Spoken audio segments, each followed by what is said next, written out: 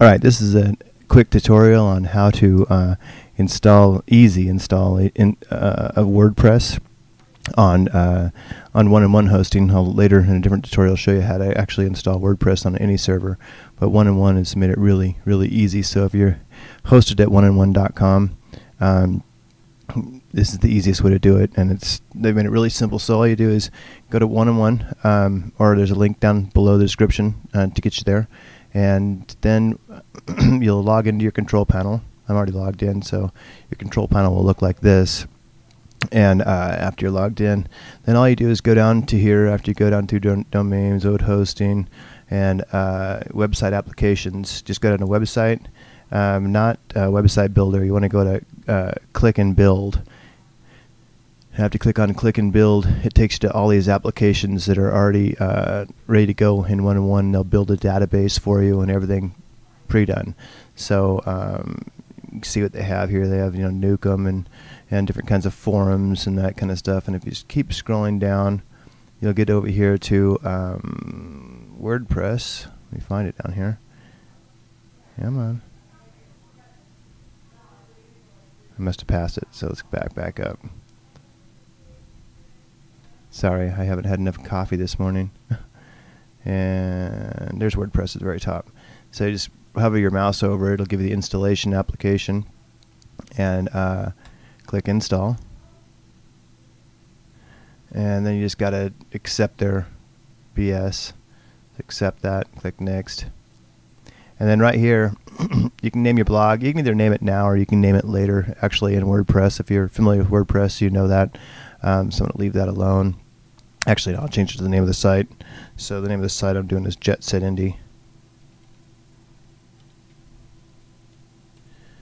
And then um, if you already have a, a, domain, either you can create a new subdomain of any of these domains to install it at, or like I already have a domain name that I want to install it on. So I'm going to come down here and go down to Jet Set Indie, and you'll have domains if you have. Otherwise, if you click on subdomain, I'll just show you. Um, basically, it'll make a subdomain of whatever website here. So, like if you, you know, have that one. So if I want to call this, you know, the, it'll go the dot ccom dot ws.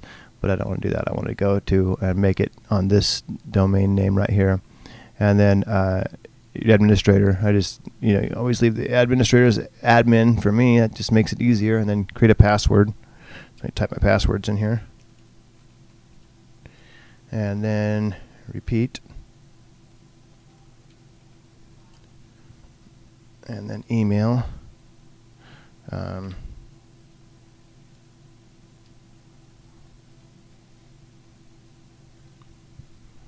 and then um, blog title again. I have this Jet Set Indie this right here will appear. Um, actually, you do want to change this one up here. I'm sorry. That just gives you an idea when you look in your database what the name is. Um, so that would help out. Actually, I need to make that Jet Set Indie 1. Actually, I'll make it 11. Um, and here we go. And then you press install. And then you get this little thing right here. Boom, there you go, it's installed. So now if I go to WordPress login,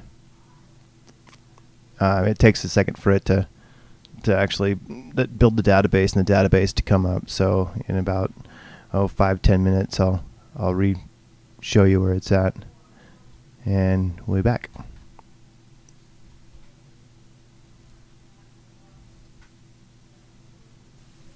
Okay, so it's been about three minutes, and uh, refresh the page, and the database has been built. So now you just log into your back end of your WordPress that one and one just installed.